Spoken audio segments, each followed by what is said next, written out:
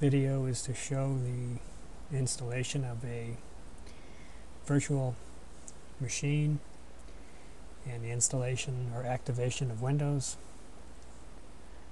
So what we did first is we pulled the virtual machine off the internet, Microsoft 2007 virtual machine, installed it under all programs, virtual machine. We installed our Windows on the virtual machine. Got the virtual machine here already with the windows up. Okay. There's my virtual PC. Now we want to activate our copy of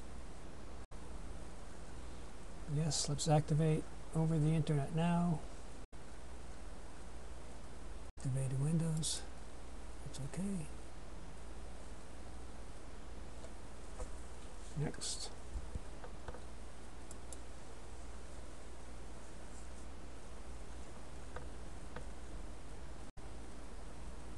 And there's our information, which I'm going to enter.